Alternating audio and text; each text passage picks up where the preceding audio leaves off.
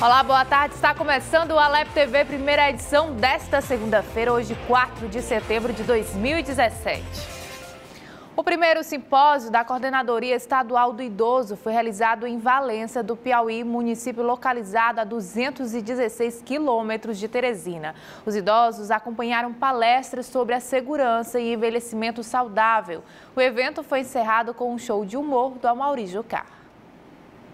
A população do município de Valença em 2016, segundo o IBGE, o Instituto Brasileiro de Geografia e Estatística, era de 20.579 habitantes.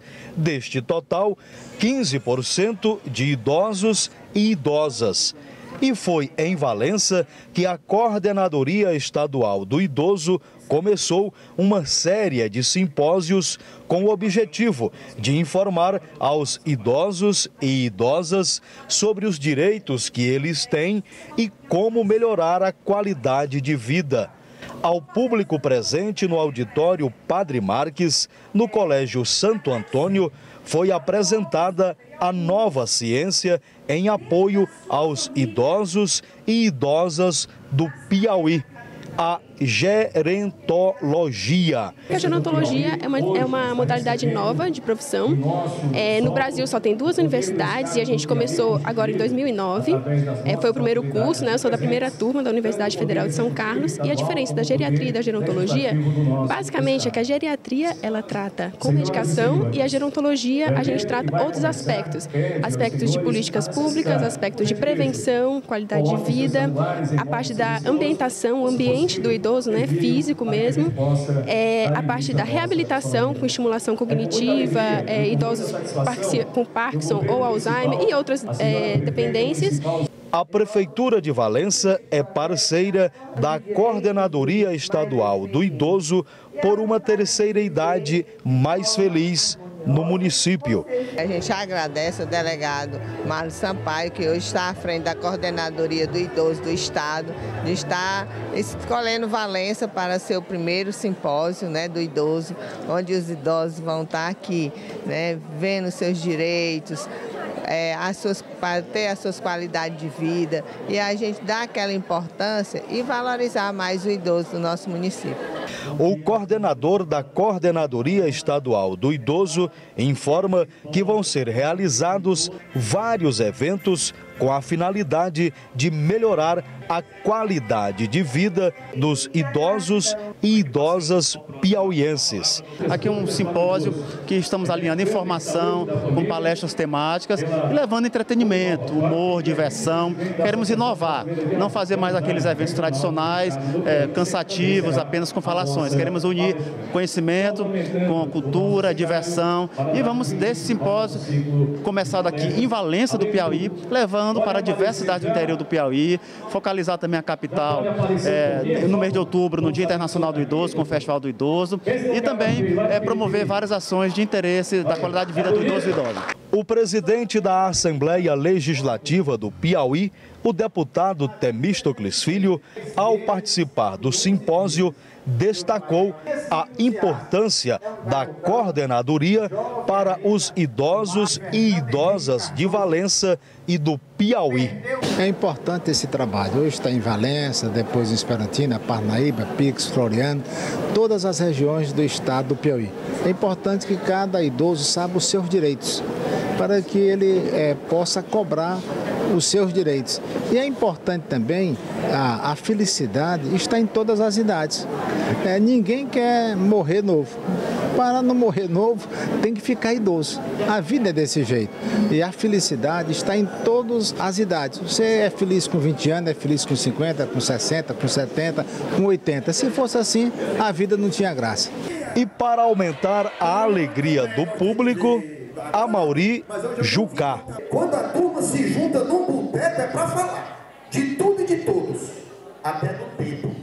Se chove, reclama. Se não chove, reclama. Ave Maria, mas dá para pegar fogo. E na cidade Sorriso, o que mais os idosos e idosas querem é viver muito e muito bem. Um acontecimento como esse aqui ajuda aos idosos? Ajuda demais. Para mim ajuda. E agora vamos ao vivo ao plenário da Assembleia Legislativa saber os destaques da sessão plenária de hoje com a repórter Samila Melo. Boa tarde para você, Samila.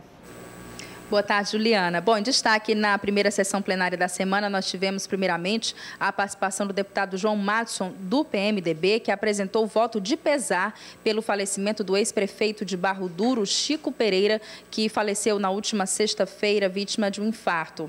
A deputada Juliana Moraes Souza, do PMDB, parabenizou o município de Buriti dos Lopes pelos seus 84 anos. No pequeno expediente, o deputado Robert Rios, do PDT, exaltou a atuação do deputado federal Silas Freire na promoção de discussões acerca da segurança pública no Piauí. Já no grande expediente, na tribuna, o parlamentar comentou sobre a visita do ex-presidente Luiz Inácio Lula da Silva ao Piauí e fez críticas à concessão do título de doutor honoris causa ao ex-presidente, destacando as últimas acusações contra Lula. E, em contraponto, o deputado Cícero Magalhães, do PT, também subiu à tribuna para comentar sobre a visita do ex-presidente, mas desta vez exaltando as políticas desenvolvidas quando presidente os benefícios benefícios trazidos ao Piauí. Juliana. Obrigada pelas informações, Samila Mello. Uma boa tarde para você. E olha só, a piauiense Laí Guerra Macedo é uma das indicadas para receber o Prêmio Nobel da Paz 2017. Laí é natural da cidade de Curimatá e desempenhou um importante papel no Programa Brasileiro para o Controle de Doenças Sexualmente Transmissíveis, especialmente a AIDS. Em 1966, ela sofreu um grave acidente automobilístico quando retornava de uma palestra. Aí passou dois meses em coma e guarda sequelas elas até hoje que a impedem exercer a profissão. Ela hoje se dedica aos tratamentos de recuperação e reabilitação e participa de ações em organizações assistenciais.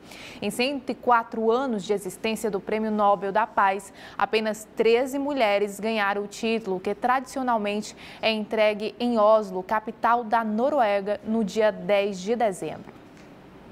E veja ainda nesta edição, Galeria Piauí reaberta a artistas da terra e ganha mais de um espaço para expor sua arte. E a seguir, estão abertas as inscrições para o curso de taquigrafia da Escola do Legislativo.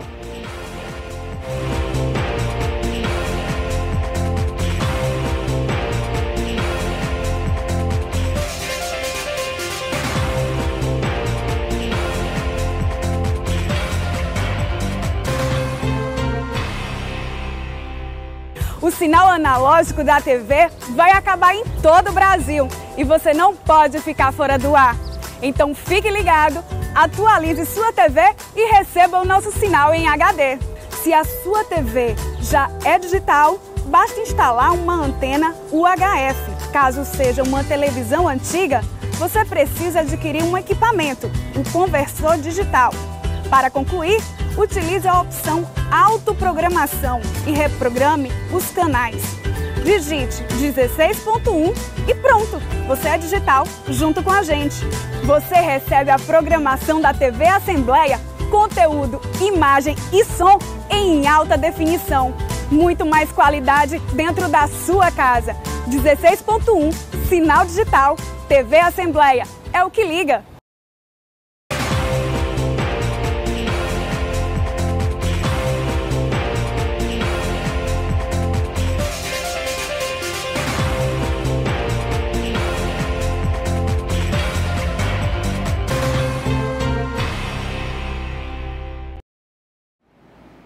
Muitos estudantes, o final de semana era para descansar e acordar mais tarde, mas já para outros foi de muita preparação para a segunda fase da Olimpíada Brasileira de Matemática das Escolas Públicas. Mais de mil alunos de escolas municipais de Teresina participarão da segunda fase da Olimpíada Brasileira de Matemática das Escolas Públicas, marcada para o dia 16 de setembro. A competição nacional é destinada a estudantes a partir do sexto ano do ensino fundamental. Nós trabalhamos aqui todos os sábados, de 8 às 12 da manhã, e trabalhando questões já, já que aconteceu nas edições anteriores das provas da OBMEP de primeira e segunda fase e fazendo esse, esse reforço e dando a eles essa condição de poder competir e competir bem dentro de uma Olimpíada a nível nacional. São 941.022 alunos classificados para esta etapa em todo o país. O Emerson e a Lara estão na maior expectativa em conseguir medalhas. Minha expectativa esse ano é ganhar a medalha. Como é que está a expectativa? Como é que está sendo essa questão do preparo para as Olimpíadas?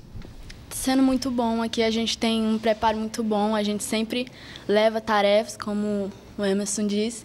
É, é, o professor sempre ensina, motiva muito, o professor Reginaldo.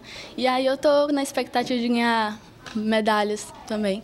O professor de uma das turmas garante a determinação da turma. Eles já participaram da Olimpíada Internacional Canguru, então eles já têm uma noção de como é que são as Olimpíadas. Já temos medalhas nessa sala dessa Olimpíada desse ano. E aí a OBMEP agora, a segunda fase, eles já passaram pela primeira, já tem uma ideia de como é que são as questões. A gente tem trabalhado com ele desde fevereiro, bastante questões de anos anteriores. E eu acredito que estou, todos estejam bem preparados para fazer uma boa prova no dia 16. Exemplo disso é o Eric Manuel, que levou o primeiro lugar na Olimpíada a nível 1. De primeiro ganhar medalha é, é difícil demais. E eu não, não, não tinha nada desses assuntos aqui, da agora também. E pra mim, quando eu recebi a medalha, eu nem vi, foi, me disseram. Aí quando eu cheguei em casa que eu conferi. A expectativa é outra medalha. Tem início neste mês de setembro mais uma turma do curso de taquigrafia da Escola do Legislativo Professor Wilson Brandão. Mas afinal, o que é taquigrafia e em que áreas esse profissional pode atuar? Para nos responder sobre a taquigrafia, a professora da Escola do Legislativo, Fátima Damasceno, que é taquígrafa também há vários anos e também que leciona nessa área lá na Escola do Legislativo. Boa tarde, seja bem-vindo, professora. Boa tarde, Juliana. Boa tarde, é, telespectador da TV Assembleia. É com muito prazer que eu me encontro hoje aqui para falarmos desse tema. Professora, mas afinal, o que é a taquigrafia? A taquigrafia, ela é uma técnica milenar que tem os métodos Nesses métodos são sinaizinhos que com esses sinaizinhos você chega a fazer anotações em tempo real da fala. Né? E você também é, pode acompanhar é, aulas videoconferências, é, assistir e acompanhar mesmo em ipsiliteres é, tudo que o discurso dos deputados, das casas é, que você trabalha, ou que você vai fazer o concurso, que no momento está sendo o ápice, né, que foram lançados dois editais. Então, a importância da taquigrafia é exatamente você poder ser um concurseiro e chegar hoje a ter e ser aprovado. Professora, é uma área que poucas pessoas é, conhecem, mas é uma área que há uma grande atuação desse profissional que é o chamado taquígrafo, não é isso? É, na verdade, o taquígrafo, ele é bem reduzido. Nós temos taquígrafos nas casas, nas câmaras municipais, nós temos taquígrafos nas casas legislativas, é, alguns tribunais, TRE, e também hoje é muito utilizado na área de vocês, né, do jornalismo, e também tenho sido procurada até por alunário do direito, porque nós temos os, os, é, as cadeias de segurança máxima que determina que os, que os advogados têm um tempo muito rápido para conversar com seu cliente. E ele também exige que o advogado não entre com nada, pela segurança. E aí, ele sabendo a taquigrafia, ele vai fazer os apanhamentos rápidos do cliente. Como a senhora bem falou, é uma área né, que é de conhecimento milenar. Inclusive, é conhecida no mundo todo. A senhora participou de alguns eventos nacionais e também internacionais que falam dessa área e da, dessa evolução que a taquigrafia vem conquistando ao longo dos anos. Eu estive recentemente, agora em julho, na Alemanha, em Berlim. Um congresso não é, que lá também é, tratou-se da questão taquigrafia no mundo todo. O que é que eu pude ver? No que é que me foi útil? Nós, taquígrafos, temos o software, nós temos todo um, auxílio. É, a gente hoje tem várias ajudas da tecnologia, mas por medida de segurança, ainda é necessário a presença do ser humano na taquigrafia. Professora, a senhora falou de, da tecnologia, como é que vem mudando? Como é que era feita a taquigrafia antigamente? Como é que a taquigrafia está sendo utilizada atualmente? Como foi que se deu essa evolução dessas tecnologias? Juliana, olha, eu vou falar em termo de Piauí para que seja melhor entendido.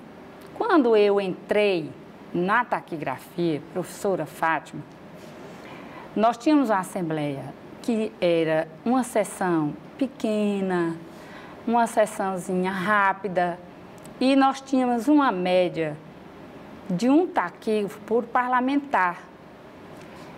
E aí, com a era do computador, houve um grande assombro. Achou-se que o taquígrafo iria ser substituído, mas pelo contrário, a tecnologia, ela nos auxilia. O taquígrafo, eu sempre explico isso na sala de aula para os meus alunos, que nós temos é, todo o cuidado é no momento não só do discurso, o taquígrafo, a responsabilidade dele é do momento das votações. Então a tecnologia com a tecnologia só, ela deixa é, que seja feito de uma forma, por exemplo, na própria Alemanha foi muito interessante. Eles estavam aplicando para nos mostrar os softwares, os aplicativos, tá? Que tudo isso tem que ser trabalhado com wireless de ponta, tecnologia de ponta, internet, tudo de primeiro mundo. Engraçado, lá o evento foi no melhor hotel Hollywood de Berlim. E aí, com muita coisa sendo acessando ao mesmo tempo, com muita gente do mundo todo participando do evento ao mesmo tempo, tudo isso às vezes falhava. Uhum. E no momento que estava acontecendo os discursos, os softwares, os aplicativos e nós, cada qual estávamos com um tablet. Naquele tablet, cada pessoa, aquele meu tablet, por exemplo, eu que sou brasileira, saía para mim, não é? Uhum. No, meu, no meu idioma. Se tivesse o um colega do lado que falava inglês, saía no idioma do inglês. Mas o que, que acontecia? De vez em quando, a internet falhava e quando me voltava o discurso que a pessoa estava falando lá no microfone, já voltava para mim sem aquele tempo. Uhum. E aquele tempo que falhava, perdia. E na taquigrafia não se perde nada, não pode. Então, o que é que já aconteceu comigo de experiência no Piauí? Eu tenho várias é, é, é, experiências. Esteve um padre que foi receber... falando desse, desse ponto, só lhe cortando porque o nosso tempo está quase no final, a senhora falou dessas mudanças, dessas tecnologias, mas que a importância do taquígrafo, Sim. né? A importância da taquigrafia. Então, assim, a gente tem um curso na Escola do Legislativo que está com inscrições abertas e que realmente forçando e dando a oportunidade para essas pessoas que têm interesse nessa área, não é isso? É verdade. É, o curso é na escola Professor Wilson Brandão. Uhum. Eu vou ministrar esse curso a partir do dia 11 uhum. de setembro, agora, até o dia 6 de outubro. É, será todo dia de 8 às 10 da manhã, no prédio da Assembleia Legislativa. Eu sempre friso isso porque nós temos duas escolas. Né? Os interessados em participar e se inscrever, como é que faz? É, aí as pessoas vão ligar né, para a escola, que é no telefone 3133 3350, ou então você pode olhar o site da nossa escola, porque lá vai estar todas as informações, valores e tudo mais. É, eu só queria terminar de lhe dizendo o seguinte: eu já passei por situações na taquigrafia, como eu estava falando, o padre estava uhum. recebendo um título de cidadão uhum. e falava bem, pausado, tudo isso é muito importante para a gente. E faltou energia e ele continuou o discurso. E nós fizemos o discurso dele em ipsilíteres. Uhum. Então, assim, podemos ajudar aos jovens, abriram editais, a taquigrafia do Brasil envelheceu. Podemos ajudar os concurseiros. A nossa escola, ela é uma, ela é uma fundação. Hum. Só é cobrado uma taxa. Essa taxa não paga nem a apostila. É, é irrisório. Eu paguei em Brasília para meu filho fazer um curso de taquigrafia na Taquibras. As escolas no Brasil, elas não são bem baratas. Então, assim, as pessoas que se interessarem no nosso estado. Podem nem... procurar a Escola do Legislativo, professor Wilson Brandão. Pode é isso, procurar, nós estamos lá para tirar qualquer dúvida sobre taquigrafia, eu estou à disposição. Uhum. Gosto de representar um pouco aqui a classe no Piauí e, e estamos lá. Tá ok, então a gente agradece a participação da professora Fátima Damasceno aqui no Alep TV Primeira Edição. Muito obrigada pelas informações. Uma boa tarde, professora.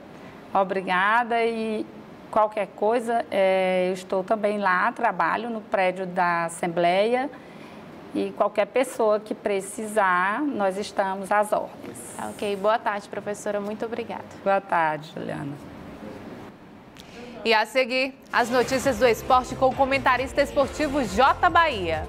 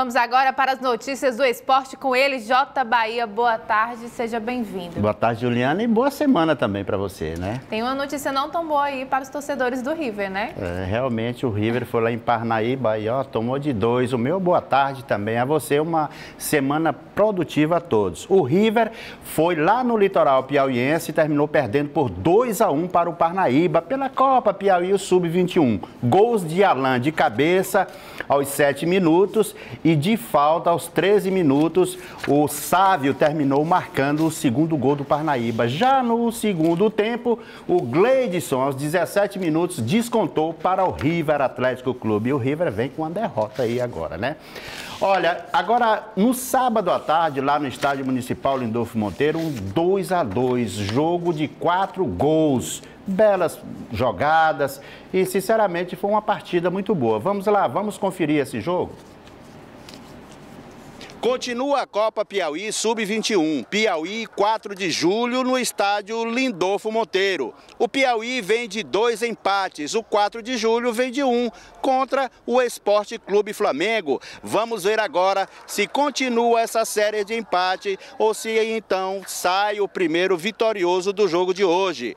4 de julho já chega forte com Bruno. Chicão faz a defesa. Pelo Piauí, o atacante Romário erra o cabeceio e a bola vai para fora.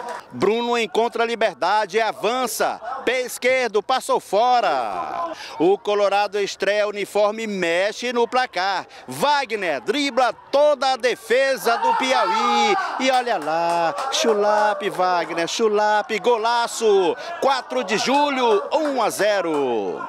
Colorado quer ampliar e Wagner bate forte, a bola vai por cima da meta do Piauí. Piauí perde o empate com Breno. Ô, oh, Breno, seria o empate. Um minuto do segundo tempo. Jonatas cobra a falta, desvia na barreira, bate no travessão e vai para escanteio. Olha aí, pressão do Piauizão. Eu gosto de ver é golaço. Jonatas, um chute direto no barbante. Chulape, Jonatas, chulape. Belo gol de Jonatas. Um a um. O Colorado amplia, João Pedro vai levando, levando, encontra Wagner, Chulap de novo, Wagner Chulap, 2 a 1 para o 4 de julho. Que jogo, galera! Romário pelo Piauí, avança, a bola passa rasteiro e vai para fora. Stanley empata para o Piauí, bola na área, olha ele lá, Stanley Chulap, Stanley Chulap, agora sim 2 a 2 é jogo de empate. Empata novamente o Piauí contra o 4 de julho. 2 a 2, galera. Fim de papo. Mais um jogo de qualidade, mais um empate também. Quer dizer, o Piauí agora já empatou três vezes na competição.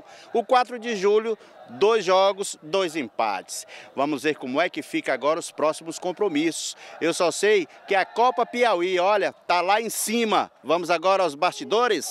É verdade, empate né, de casa, numa competição dessa, poucos jogos.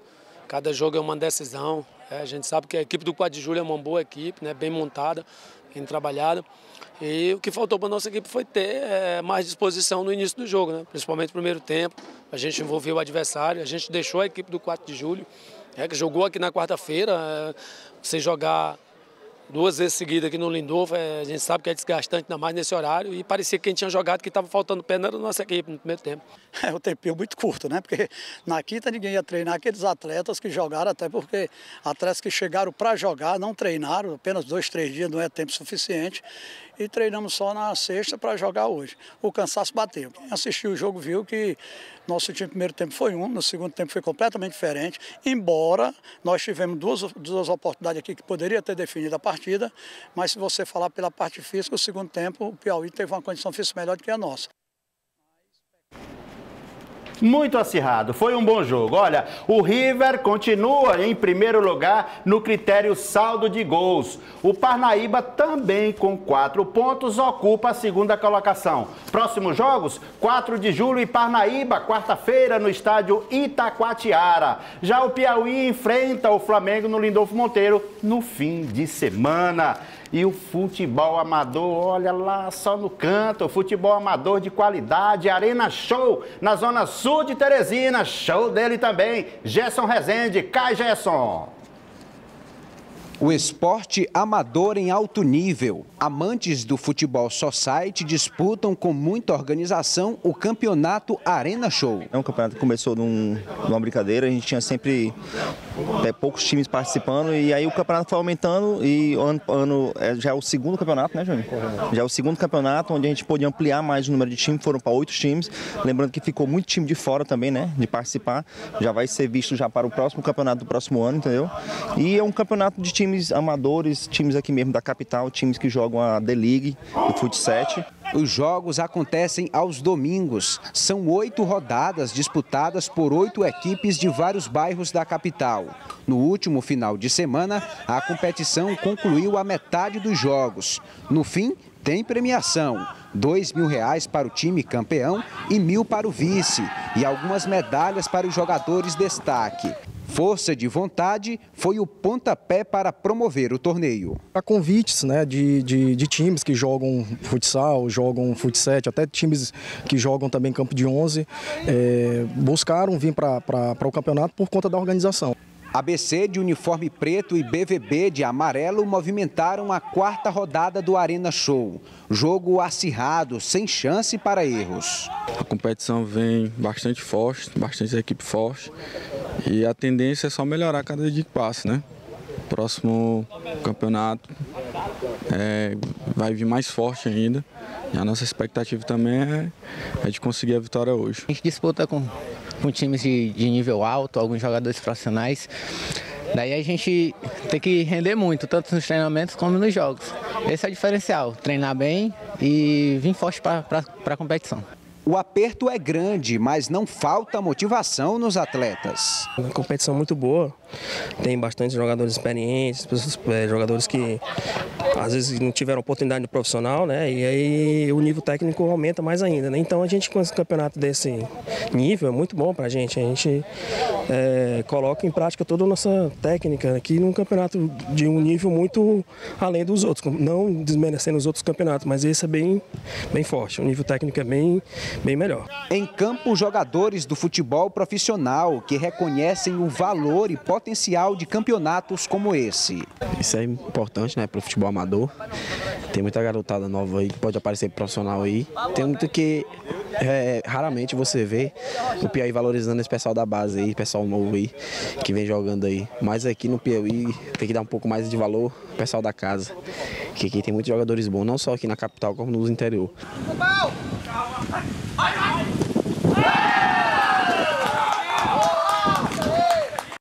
Esse último entrevistado é o Sadam. Agora a matéria foi do Eliezer Rodrigues e não do Gerson Rezende. Tá, fica por aqui só entre nós. Olha, o jogo entre ABC e BVB terminou em 3 a 3. Barcelona e Corisco disputaram a segunda partida da quarta rodada logo em seguida e o placar ficou em 0 a 0.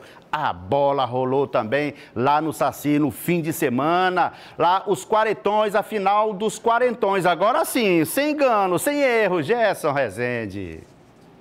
Troféus para o campeão, vice-campeão, artilheiro da competição e melhor goleiro do campeonato. O campeonato dos quarentões do bairro Saci chegou ao final. Das 13 equipes participantes, o 89 Futebol Clube da cidade de Timon, de uniforme azul, e o Delmiros Futebol Clube do Saci fizeram a grande final. A avaliação é a melhor possível, entendeu? Esse ano posso dizer, posso dizer que foi um dos melhores campeonatos que nós realizamos. Melhor por quê? Porque foi o ano que as equipes vieram mais preparadas, entendeu? Que nos anos anteriores a gente tinha um, um campeonato, algumas equipes se destacavam e as outras ficavam lá embaixo. A Arena Acadepol, palco da grande final, recebeu o nome de Arena Simão Teles Bacelar, o Cima, grande craque do futebol piauiense e brasileiro. Com a bola rolando, um desfile de craques. Todos jogaram muita bola, fizeram história e tornaram o campeonato dos quarentões um grande evento, independente de quem seja o vencedor. Nessa grande final entre o 89 Futebol Clube de Timon e o Delmiros Futebol Clube aqui do Saci, além do título de campeão e dos troféus, o importante é a confraternização, o momento de matar a saudade de grandes claques do passado que fizeram história nos gramados, tanto da capital como também do interior do estado. É, isso é muito importante, a gente que se, se confraterniza diante de um, de, uma, de um evento desse tão importante, reunindo pessoas de acima de 40 anos. O campeonato sempre foi organizado, sempre teve o Saci, a turma que é a direção.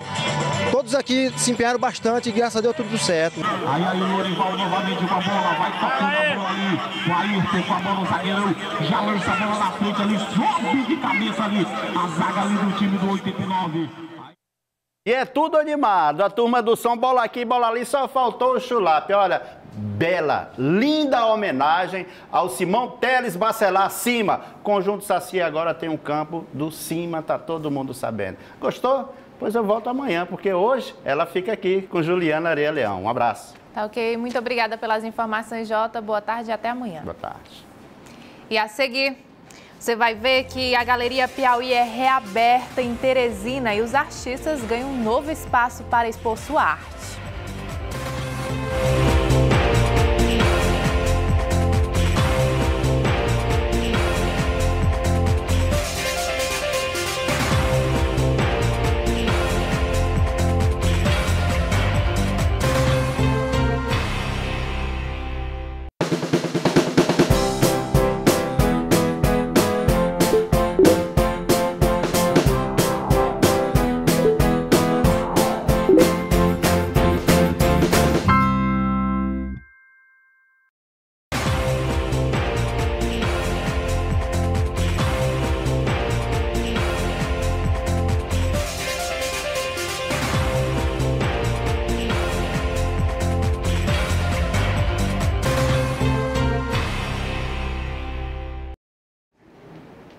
Em visita ao Piauí, o ex-presidente Lula passou por algumas cidades em, na capital e participou do ato O Brasil não abre mão do seu futuro.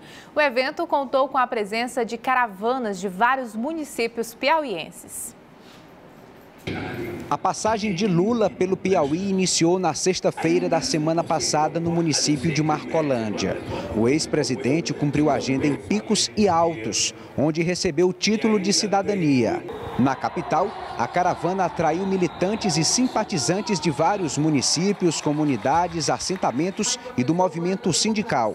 Eu já perdi a conta de quantas vezes eu falei por dia e ainda tem muitas coisas para falar até dia 6 em São Luís do Maranhão. Toda vez que vocês acharem que nenhum político presta, ainda assim vocês não podem desanimar. Vocês têm que tomar a decisão o político honesto que vocês querem. Grupos afro e de ritmos nordestinos estiveram entre as atrações culturais da concentração em Teresina. Aliados do líder petista reforçaram a mensagem do partido trazida por Lula. A mensagem é de esperança, no meio de tanta destruição, de ataque ao direito de trabalhadores, de privatizações. É, as pessoas olham para o presidente Lula e lembram do que foi feito no país, da inclusão social, 32 milhões de pessoas que saem da pobreza absoluta. Então o Lula aponta isso, aponta a esperança, um novo futuro. O objetivo da caravana é exatamente esse. Ele está voltando o caminho que sempre fez. É de estar vendo o que foi que melhorou, o que foi que avançou e onde foi que erramos e escutando a população como um todo, para que a gente possa daqui compilar um grande programa para o próximo ano de governo, se for. A vinda do Lula ao Piauí sempre é um momento para se festejar e comemorar. Foi um presidente que fez muito pelo nosso estado. Imagine, 200 mil famílias que passaram a ter o direito de luz própria na sua casa. 150 mil famílias que passaram a ter o direito a uma moradia. A ampliação da Universidade Federal. As, uh, os institutos federais que foram espalhados por todo o Piauí. Então a obra do Lula, ela é uma obra muito forte no Piauí e em todo o Brasil. Encerrando a agenda de atividades no Piauí, o ex-presidente Lula recebeu o título de doutor honoris causa pela, é, oferecido pela Universidade Federal do Piauí. Antes do início da solenidade, militantes cercaram a entrada do local do evento. Toda a movimentação foi acompanhada pela Polícia Militar, que reforçou a segurança. A concessão do título de doutor honoris causa da Universidade Federal do Piauí ao ex-presidente Luiz Inácio Lula da Silva foi aprovada em 2008 pelo Conselho Universitário. A honraria máxima concedida por uma universidade é destinada a pessoas com atuação de destaque em alguma área profissional, ainda que o agraciado não tenha formação superior. A data de recepção do título é escolhida pelo homenageado. A proposta foi do professor doutor Antônio José Gomes, que em seu discurso justificou a entrega do reconhecimento, enfatizando a expansão da UFP durante o governo Lula em especial do aumento das ofertas de vagas em cursos de graduação, mestrado e doutorado, administração superior, comunidade acadêmica, autoridades e simpatizantes lotaram o Cine Teatro da UFP. A Universidade Federal do Piauí, uma das melhores do Brasil, reconhece aqui é, o papel que teve esse torneiro mecânico, Luiz Inácio Lula da Silva, na construção da educação no Piauí e no Brasil. O presidente Lula é, fez como uma questão é, de missão fazer essa expansão dos institutos federais, da Universidade Federal, viabilizar acesso a, a vagas de faculdade, ou seja, para que o Brasil pudesse crescer tendo como alicerce a educação. Então, o título de doutorado, é, na verdade, é algo que nos orgulha muito, porque sabemos que é alguém que fez essa engenharia para esse país alcançar esses avanços que alcançou e especialmente na educação. Eu tenho uma, um prazer de estar aqui, porque o Lula foi quem assinou a outorga da TV Assembleia e Rádio Assembleia. Por que não? No momento que ele vem visitar o estado do Piauí, eu não venho aqui prestigiar. Quantos milhões de pessoas não saíram da faixa da pobreza e foram para a classe média no governo do Lula.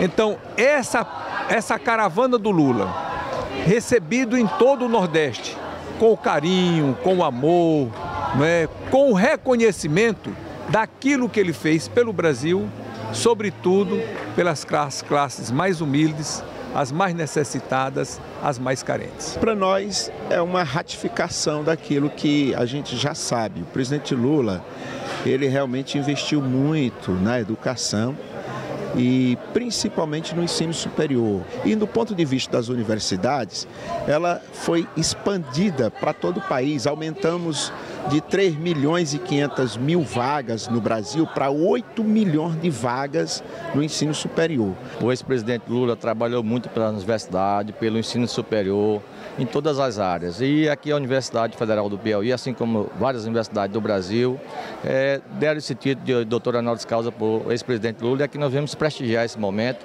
No governo do presidente Lula foi quando nós tivemos o maior crescimento né, do ensino público superior no Brasil. A Universidade Federal do Piauí mais que duplicou sua área construída, é, passou de nove mestrados para mais de 50 hoje, é, de um doutorado para 10, é, de 2.345 vagas de ingresso para mais de 6 mil, de campos de Teresina, de Parnaíba e dois cursos em Picos para cinco campi. Então, o ensino à distância que não havia também. Então, foi um, uma, um título concedido mais que merecidamente. Em seu discurso, Lula enalteceu as conquistas na área da educação durante os seus oito anos como presidente da República. Há um motivo maior para me orgulhar do título que recebo da comunidade acadêmica no Piauí. É que esta homenagem vem do Estado que tem hoje a melhor escola pública do nosso país. Imaginem que em Cocal dos Alves nós temos 150 medalhistas das Olimpíadas da Matemática. 150 medalhistas numa cidade com apenas 6 mil habitantes. Esse quadro começou a mudar quando a educação deixou como um gasto a mais no orçamento e passou a ser tratada como um investimento público para as crianças, para os jovens, que são a maior riqueza do Brasil nós triplicamos o orçamento do MEC. Na verdade, eu lembro que nós, quando eu cheguei na presidência, o orçamento do MEC era 19 bilhões. Eu sei que quando eu deixei era 120 bilhões. Agora deve estar mais. E, e, eu acho que atualizado dá 3. Mas eu dizia, quintuplicamos o, o orçamento do MEC Mudando agora um pouco de assunto, vamos falar de arte. A Galeria Piauí foi reaberta e é o mais novo espaço para exposição de obras de artes de artistas do estado. Artes plásticas, cerâmica e fotografia. Tudo em um só espaço dedicado à cultura piauiense e feito por artistas locais. Esse turbilhão cultural que é Teresina, né? um reflexo de, dessa cultura do que eu convivo todos os dias. Né? Esse é um processo que diariamente eu convivo com música, jazz, chorinho, arte plástica, artesanato e na verdade hoje a ideia dessa galeria é uma, é uma confraternização da amizade que a gente tem com grandes artistas. A Galeria Piauí existe há um ano e agora recebeu uma nova cara, um novo formato pronta para expor o trabalho de gente da terra. E a arte em cerâmica não podia ficar de fora. A gente trabalha com cerâmica em alta temperatura. Né? Então a gente trabalha com esculturas, com painéis de parede, com utensílios também. Então a nossa cerâmica é uma cerâmica qualificada por quê? Porque ela vai a alta temperatura. Então ela, ela fica mais ou menos parecida uma, uma porcelana. A gente tem assim enorme prazer de estar aqui. A internacional artista plástica genuinamente piauiense Dora Parentes também participa da reabertura desse local que respira a arte. Teresina está em grande efervescência cultural, mas nós ainda temos muita limitação de espaço para expor nossas obras. Então, essa, esse espaço aqui é muito aconchegante. A NASA também é outra artista plástica que trouxe a pintura para a galeria. Ousada e irreverente, ela revela que este quadro, aparentemente tridimensional, guarda alguns segredos. Teresina passou muito tempo sem uma galeria de arte e agora nós temos duas, mas temos duas e algumas alguns espaços que podem ser considerados como galeria de arte também, espaço de bom gosto. Só que esse aqui é exclusivamente galeria de arte. Me sinto muito honrada em estar participando de um grupo tão seleto. Ficou curioso? A Galeria Piauí já foi reaberta e está localizada na zona leste da capital e está aberta para visitação, exposição e comercialização de tudo o que é produzido pelos artistas piauienses.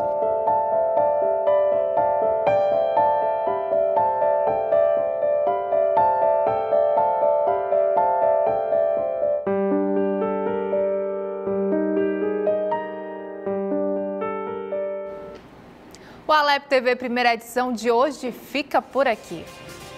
Quer rever as matérias exibidas nesta edição? Basta entrar no nosso site, é o tvassembleia.org. A todos, muito obrigada pelo carinho da audiência, uma ótima tarde e até amanhã.